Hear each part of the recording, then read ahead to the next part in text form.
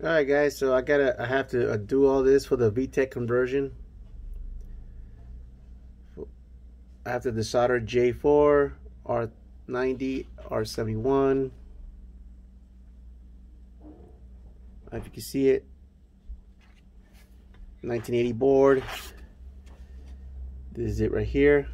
I'm working on this on this uh, VTEC.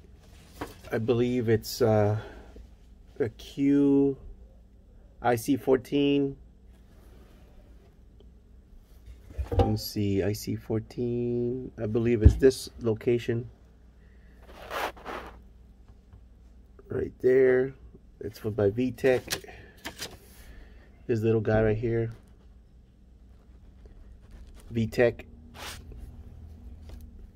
And the rest is pretty much a little transistors here and there.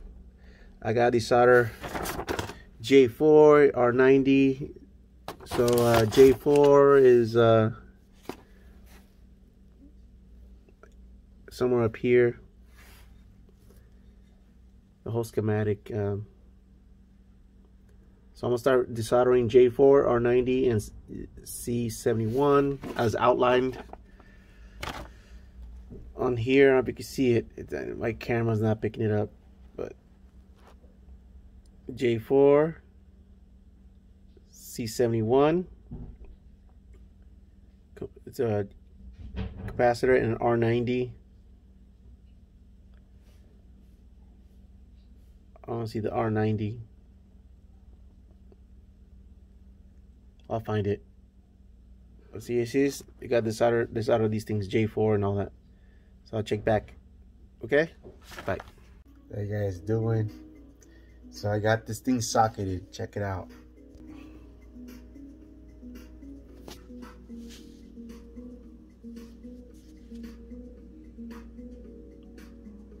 Here goes the, the custom chip here. I added this chip. VTEC. Data logging right here, for, I think for on data.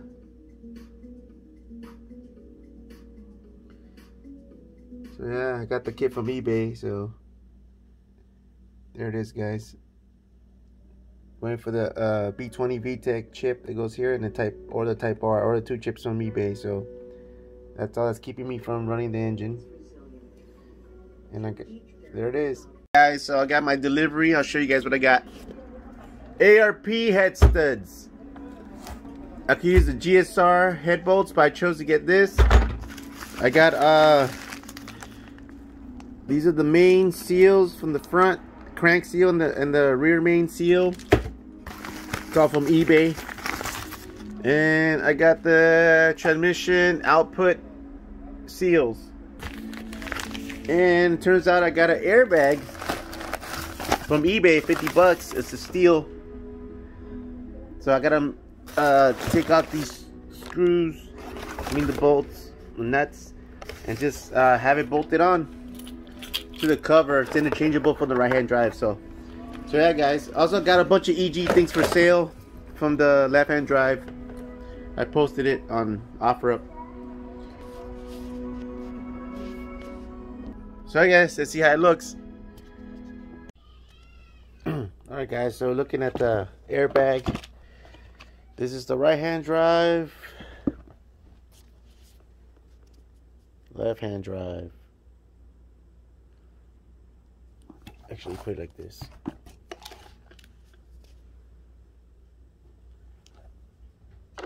Number eight, easily removed. Right here, it looks like the holes match up.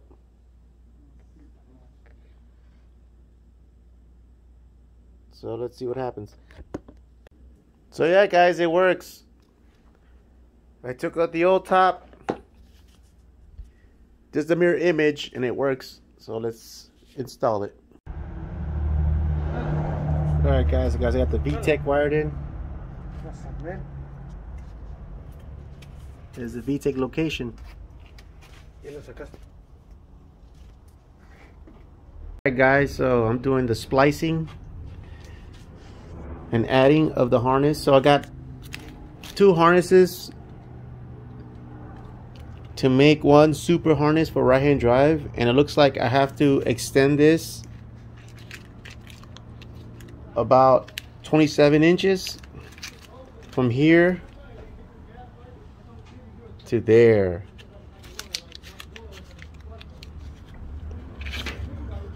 To this grouping. I, I, I have the zip ties for the grouping right there and right there. This is for since the everything got swapped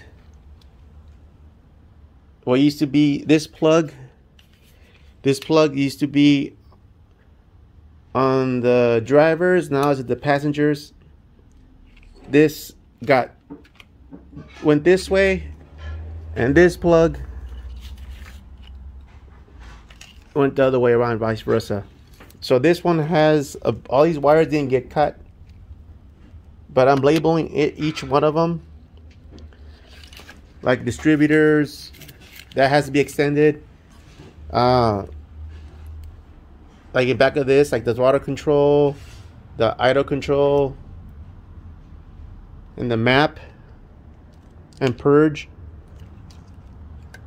That didn't didn't get cut because that's in the harness of this way, I think.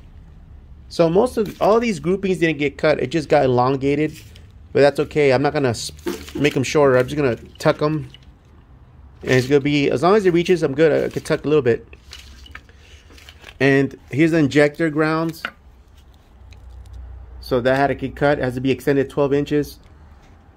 So I'm grabbing this other harness I had from the LS B20 non-VTEC it turns out that this harness could fit on the my old Civic EX harness. So I'm combining these two this is from 94 LS. This is 94 Civic. So I'm making these two the same. Um, I'm making this a super harness for the right hand drive. So I'm using, I'm cannibalizing this to, to for this harness. Uh, they all share the same plugs from the Integra. This uh, Integra 94 and, and Civic 94 have the same plug style, OBD1. So I could from these two harnesses, I'll make the super harness for the right hand drive. So I'm gonna begin soldering and I'll let you know how it goes. And I'm referring online for little things as far as wiring. But I discovered that I was very stumped on one connector in particular, which was the power steering, because I'm planning to keep my power steering this power, power steering. Remember this is this is right hand drive so that plug used to be uh that actually that plug that plug stays there because a, a left hand drive had it there too because remember the rack and pinion is there and the plug remains in the same place but nevertheless when I flipped the harness because I kept the harness the Civic I just flipped it. So everything used to be here now it's over there. Now this power steering plug used to be there is on this side so now to cut and extend it to reach that power steering. So everything else should go. Oh also I have a power steering I mean uh AC I'm having the AC wires which are these guys the relays for the condenser I decided I decided keep, I'm gonna do uh, an AC right hand conversion as well. So I'm ordering the parts. It's coming in Saturday. I'm gonna have the AC lines running on this side. What what versus it was on that side. So I'm having everything. I'm running AC because uh, before I go turbo, I want to do the AC for one year. So hopefully uh, I could do the turbo and AC combination. Um, hopefully. So as far as the interior, everything's set and done.